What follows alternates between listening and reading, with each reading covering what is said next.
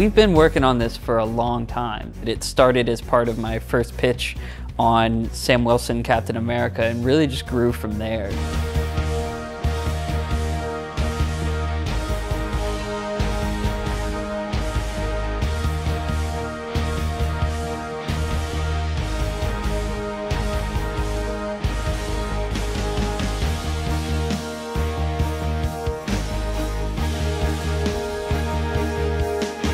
Takes all of the characters in the Marvel Universe, regardless of how omnipotent or how you know ground level and localized they are, everybody has to kind of pull together and unite as a single force to oppose this sort of overwhelming move by Hydra that's led by the most trusted figure among them.